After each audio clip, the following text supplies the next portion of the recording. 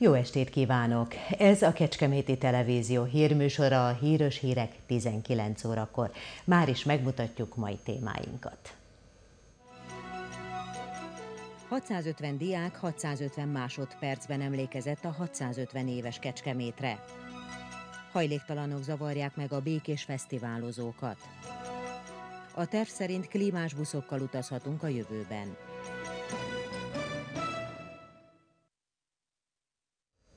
Határon túlról érkező magyar csoportokat és Kecskemétet köszöntötték ma a Csiperó Fesztiválon. Délelőtt 11 órakor 650 gyermek hangja csendült fel egyszerre a nagy templomban.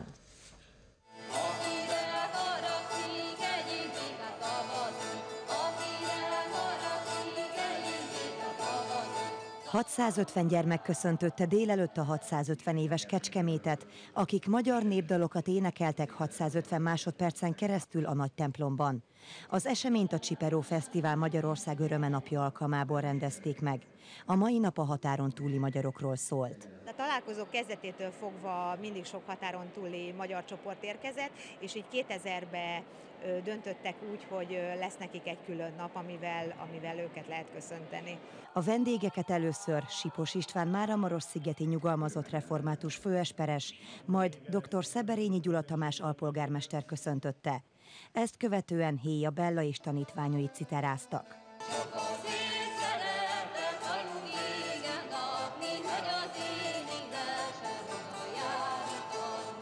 Berei Andrea azt is elmondta stábunknak, hogy volt, aki igazán messziről érkezett Kecskemétre.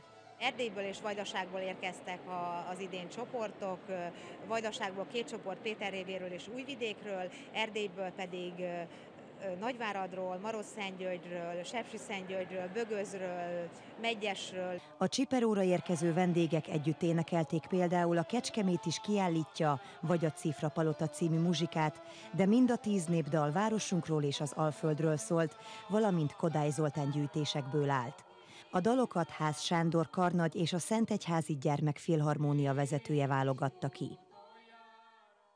A nyári fesztiválokon rendre feltűnnek a tömegben hajléktalanok. Többségük nem zavar senkit jelenlétével, de vannak, akik problémát jelentenek a békésen fesztiválozó tömegnek. Ilyen esetekben a biztonsági szolgálat szakemberei intézkednek. Szomorú kép, amikor elesett embertársaink az utcán kéregetnek. A nyári főtéri rendezvényeken ez gyakori jelenség, de az is előfordul, hogy éppen az ott felejtett italokból isznak. De ez nem túl kellemes, mikor éppen eszel és oda jönnek hozzád, és akkor kéregetnek.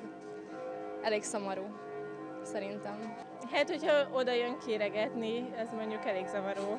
Ez az általános probléma Csiperó ideje alatt is fennáll, de a helyzet a fesztiválon segítő önkéntesek szerint nem súlyos. Max olyanokat látunk, akik itt alszanak, de igazából nem zavaróak, szóval... Szóval nem. Minden jól megy, eddig mindig zavartalanul, izé csak egy, egy emberre kellett intézkedni, és utána elment, utána nem zavartak tovább. Természetesen a főtéri fesztiválokon biztonsági szolgálat gondoskodik a fesztiválozók nyugalmáról, lehetőség szerint a legkevésbé föltűnő módon próbálják a helyzetet kezelni. Többségük viselkedésével nem szokott gond lenni hogy gyakorlatilag szépen nem erőszakkal hozzáteszem, tehát nem kényszerintézkedést alkalmazva, némi rábeszéléssel kijebb kísérjük a területről, ahol nem zavarja a fesztiválozókat, nem irritálja az ott lévő szórakozni vágyó embereket. A biztonsági szolgálatok együttműködnek a rendőrséggel, akiknek csak akkor kell beavatkozniuk, ha a szolgálat szakemberei nem tudják megoldani a problémát. A rendőrség közleményében megfogalmazta, hogy a kecskeméti rendezvényeken folyamatos az egyenruhás és civil ruhás rendőri jelenlét. A helyszínen parancsnok is jelen van, aki koordinálja a beosztott állomány feladatait és kapcsolatot tart a szervezőkkel. A fesztiválon résztvevők segítséget kérhetnek bármilyen vita, atrocitás esetén, gyermek eltűnése ügyében, vagy ha baleset történik. A kecskeméti közösségi közlekedésről, pontosabban az ellátásra vonatkozó pályázatról is szó volt a Városrendezési és Városüzemeltetési Bizottság rendkívüli ülésén tegnap délután. A cél természetesen a lehető leghatékonyabb tömegközlekedés. A csütörtöki ülés első napi rendi pontjaként az autóbuszos személyszállítás ellátására vonatkozó pályázati kiírás részleteit tárgyalta a Városrendezési és Városüzemeltetési Bizottság. Több kérdés is felmerült a pályázattal kapcsolatban. Szó volt például arról, hogy a pályaudvarok területén a pályázónak kell-e karban tartani az utakat, és arról is, hogy egyáltalán mennyi időre szól a szerződés. A pályázati kiírás szerint a nyertes pályázó közszolgáltatási szerződés keretében 10 évig láthatja el Kecskemét buszos személyszállítását. Lehetséges, hogy a későbbiekben ezen időtartamot 5 plusz 5 évre változtatják, ami lehetőséget adna arra, hogy 5 év után a felek a szerződésben vállaltak teljesülését kölcsönösen felülvizsgálják és döntsenek a meghosszabbításáról. A pályázati kiírás tervezetébe belekerült az is, hogy a buszokban lennie kell légkondicionálónak. Király József javaslatára beleveszik a kiírásba, hogy azt az időjárási körülményeknek megfelelően kötelesek lesznek működtetni. A cél természetesen a lehető leghatékonyabb tömegközlekedés és az utasok elégedettsége. Idén mintegy 50 milliárd forintos kerettel újabb pályázati lehetőség nyílik az élelmiszerfeldolgozás és a borászat támogatására. Erről az Agrárminisztérium döntött a héten. Kis Miklós, az Agrárminisztérium vidékfejlesztésért felelős államtitkára elmondta, hogy a tárca ezen kívül még újabb 15-20 milliárd forint összegű felhívást hirdet az ökológiai gazdálkodást folytatók számára is. Az összes kiírás szeptembertől nyílik meg, akkor lehet majd beadni a kérelmeket. Szólt arról is, hogy döntöttek a helyi piacok és a közétkeztetés fejlesztésére beérkezett pályázatokról. Az irányítóhatóság eddig 336 kérelmet támogatott, mintegy 7,8 milliárd forint értékben. Ennek köszönhetően helyi termelői piacok vagy vásárterek kialakítása, illetve közkonyhák fejlesztése valósulhat meg. Felhívta a figyelmet továbbá arra is, hogy jelenleg 27 vidékfejlesztési felhívás nyitott, mintegy 300 milliárd forint keretösszeggel. A vidékfejlesztési programban júniusban egyébként újabb 17 pályázati felhívás esetében 634 kérelem támogatásáról született döntés több mint 21 milliárd forint értékben. Két ember is súlyosan megsérült abban a balesetben, amikor lovaskocsival ütközött össze egy személyautó a Bácskiskó megyei Izsák és Orgovány között. Orgovány felé tartott a lovaskocsi és a személyautó is, amikor a Volkswagen Golf sofőrje későn észlelte az előtte kivilágítatlanul haladó lovaskocsit, és hátulról nekiütközött. A kocsi bakján ketten utaztak. Helyszíni információink szerint egyikük körülbelül 10 métert repült, végtagtörést, fejsérülést szenvedett, míg a másik bakon ülő utas a kocsi alá esett. Egy nő állítása szerint a lovaskocsi át is hajtott rajta. A két súlyos sérültet a Bácskiskó megyei kórházba szállították a mentők. A rendőrök félpályás útzár mellett helyszíneltek. A mai napon történt még egy baleset Kecskemét közelében. A megyeszékely felé haladta a szénabálákat szállító kamion, amikor lakitelek felől kihajtott elé egy távolsági busz. A kamionos félrerántotta a kormányt, de már nem tudta elkerülni az ütközést. A buszon csak néhányan tartózkodtak, a sofőr és az utasok sem szenvedtek sérüléseket. Úgy tudjuk, a buszvezető a gépjármű A oszlopa miatt nem látta a közeledő kamiont, ezért hajtott ki elé. A baleset pontos körülményeit a rendőrség tovább vizsgálja. Május 8-áig kellett volna eltávolítani mindenhonnan a választási plakátokat, matricákat. Azonban Kecskemét utcáit néhol még mindig csúfítják a buzdító feliratok. Karácsony Gergely még mindig mosolyog a választópolgárokra a Hetényegyháza egyik utcájában. Egy villanypóznán díszeleg ez a plakát, amelyet már rég el kellett volna távolítani. De az utcában nem csupán ez az egy ilyen tábla található. Itt vagyunk Hetényegyházán az Iskola utcában, ahol még mindig találunk választási plakátokat. Ezeket május 8-áig kellett volna eltávolítaniuk a pártoknak. De nem csak itt Hetényegyházán van probléma, Kecskeméten is lehet még találni pár választásra buzdító platformot, feliratok táblákat, matricákat, plakátokat. Még májusban a Kecskeméti Televízió megkereste dr. Határ Máriát, Kecskemét jegyzőjét, hogy kihez is tartozik az eltávolítás ügye.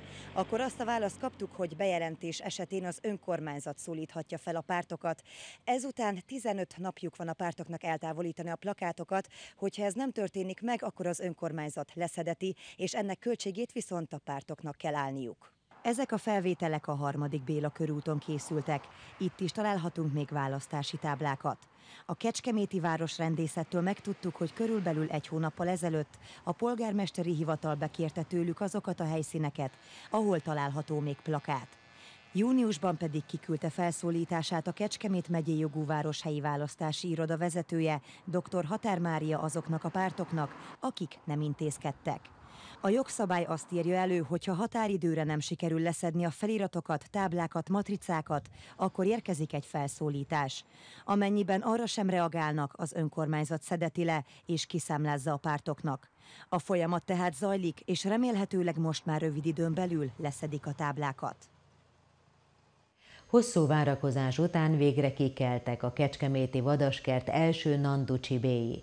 A négy fiókát a napos időben már megcsodálhatják a látogatók a szurikáták és a tarajos sülök szomszédságában. Mik ezek? Nanducsibék. Múlt héten keltek ki. Távol a szüleiktől még kevesen ismerik fel a Kecskeméti Vadaskert legújabb lakóit, a dél-amerikai nanducsibéket. Bodor Ákos gondozó azonban szívesen bemutatja őket a látogatóknak. Egy hónapig ült a kakas a futómadarak tojásain, ezekből hat fióka bújt ki a múlt hét. Kettő nem maradt életben, ez a négy azonban egyre erősebb, kíváncsian felezik fel kifutójukat. Mivel a nanduk kikelésük után nem gondoskodnak a fiókákról, így elválasztották őket a szülőpártól. Nappal jó időben itt keresgélnek a fű között, az éjszakákat azonban zárt helyen infralámpa alatt töltik. Pulykaindító tápot kapnak, némi finomsággal élő lisztkukacokkal keverve, amit nagy élvezettel csipegetnek fel. De a fűféléket is kóstolgatják már a kifutóban.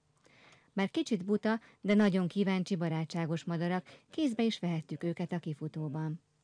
Bodor Ákostól megtudtuk, eredeti otthonukban Dél-Amerikában haszonállatként is tartják őket húsuk és bőrük miatt. Ezek a kicsik szerencsések, hisz ilyen veszély nem fenyegeti őket. Fél éves korukig megfigyelhetik a vadaspark látogatói, hogyan cseperednek, azután valószínűleg más állatkertben találnak majd otthonra. Öt tojáson továbbra is kotlik a nandukakas, ezek azonban valószínűleg már nem kelnek ki. Így hamarosan az apuka is újra élheti majd megszokott életét. Elkezdte a felkészülést az NB3-ba frissen feljutó Kecskeméti LC a mai nap folyamán. A 2018-2019-es bajnoki szezonra már alakulóban van a keret. Ma fél hatkor ismét megtelt élettel a Széktói stadion. A jövőre a Nemzeti Bajnokságban szereplő Kecskeméti LC megkezdte a felkészülést a jövő évi szezonra. Az osztályozó óta mindössze három hét telt el, azóta nagy változások történtek a klubnál. Több távozója is van az Egyesületnek. A következő szezonban már biztos nem lesz a csapattagja Esjuhász Tamás, nagy Dániel, Toricska Rajmond és Hajnal Gábor, valamint Főszfa Gergő, aki visszament Ausztriába. Mivel az MB3-ban külföldi állampolgár szerepeltetése esetén csak az alaptau támogatást kapja meg a sportszervezet, a jövő évben Eugene Szalamira és Zselkó Belekára sem számíthat a klub. Az érkező oldalon még kevesen vannak, de Tiszakécskéről már van két biztos érkező.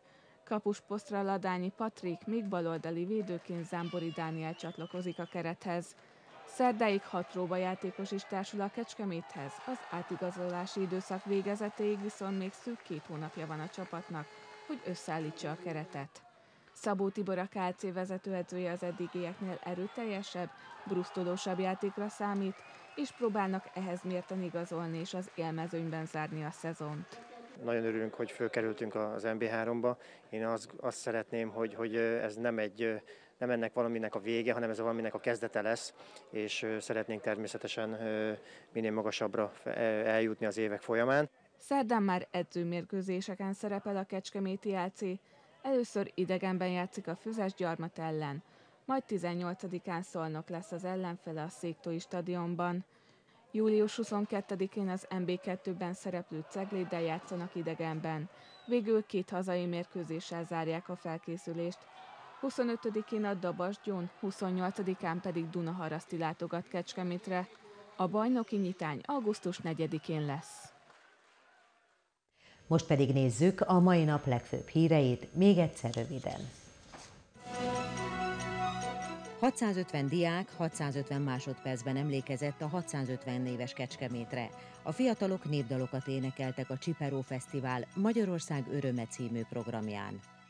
Hajléktalanok zavarják meg a békés fesztiválozókat. Ezekben az esetekben a biztonsági szakemberek lépnek először közbe. A terv szerint klímás buszokkal utazhatunk a jövőben. A pályázat célja a lehető leghatékonyabb tömegközlekedés és az utasok kényelme. Habár már régen letelt a határidő, még mindig választási plakátok díszítik Kecskemét utcáit. A város jegyzője már júniusban kiküldte a felszólításokat.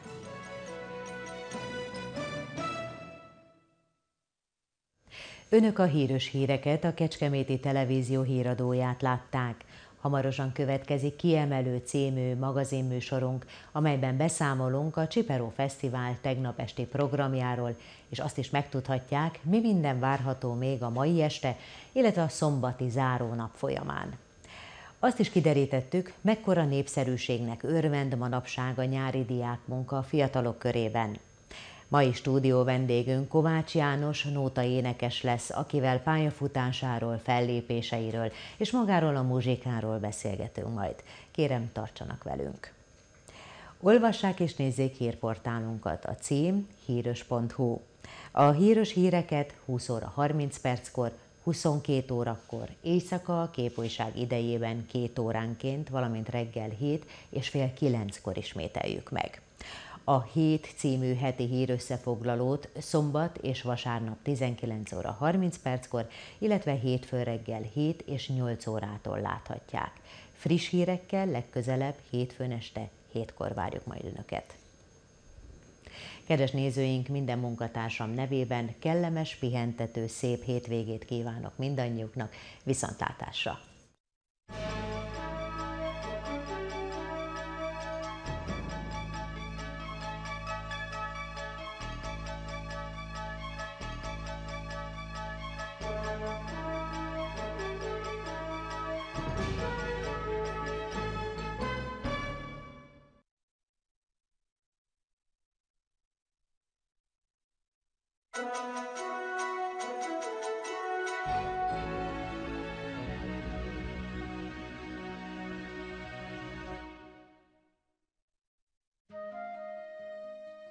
Szombaton folytatódik a mai szürke idő, záporokkal, zivatarokkal is számolhatunk napközben. Élénk lesz az északi északnyugati szél. A hőmérséklet 19 és 27 fok között ingadozik. Vasárnap már száraz, csapadékmentes idő várható. Napközben még erős lesz a keleti szél, de este már csak gyenge széllökésekre számíthatunk. A hőmérséklet 18 és 28 fok között alakul. Hétfőn már akár 30 fokig is felkúszhat a hőmérő higanyszála.